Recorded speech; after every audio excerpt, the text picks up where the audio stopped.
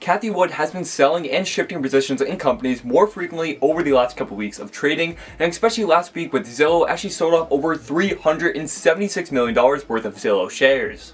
Hello everyone, my name is DJ Barry, and in this video we'll be taking a look at the latest moves from ARK Invest and what's going through the mind of the one and only Cathie Wood. And if you guys are new to my channel, feel free to like and subscribe so you guys don't miss out on all the latest news with the stock market, but now let's get right into this video. So last Thursday, Cathie Wood decided to change her position in a company that reported earnings last week, and this is yet another promising move to deliver even more promising returns for their ETFs, as they invested into Facebook, but now known as Meta Platforms. So just like the younger generations, Cathie Wood has been losing interest in Facebook as she sold off her shares 14 times this year throughout two of her ETFs. But just two weeks ago, that selling turned into buying after Facebook took a hit the day after rebranding their company to Meta Platforms. And since then, she's increased her position two more times with the latest coming on last Thursday. So Cathie Wood's investments are mainly focused on the technology of the future, and that's why her and ARK Invest hold massive positions in sectors such as artificial intelligence, robotics, genome sequencing, and others. And Facebook's announcement for their plan for the metaverse was promising enough to convince Cathie Wood to go from selling the stock to buying the stock as she purchased over $63 million worth of shares, which equates to about 197,000 shares on November 1st. And then she purchased another 36 million, which is about 102,000 shares on Thursday.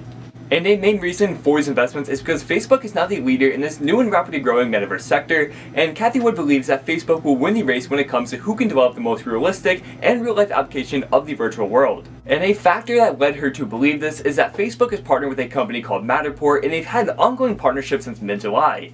But right now, Matterport is being talked about as being a necessary component in the creation of the metaverse.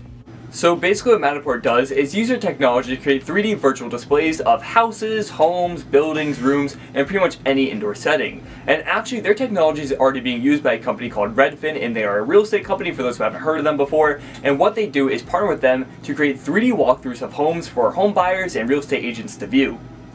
So Facebook already having a partnership with a company that could be a key factor in building and shaping the foundations of the metaverse is a very promising sign if the metaverse does take off. And Cathie Wood seems to agree as she has loaded over $100 million into Facebook in just the last week of trading. So Cathie Wood is no longer a seller of Facebook. She's back to being a buyer, and after making some strong buys, it's looked like we'll see that continue as Facebook continues to make more progress on their metaverse. And with the stock being up about 9% since Cathie Wood first started buyback in on October 27th, Meta Platforms has already made her a solid return, and it's okay we'll see that return continue to increase with Facebook's return on popularity as they work on developing the next major breakthrough in the technology world. So do you agree with Cathie Wood? Is Facebook stock now something you believe is worth buying, or do you think this whole metaverse thing is overhyped and it won't change Facebook's performance in the long run? Comment what you guys think down below, and I hope you guys all enjoyed this video. I hope you guys all had a great day today. Thank you all for watching. Good luck, ladies and gentlemen, and peace out.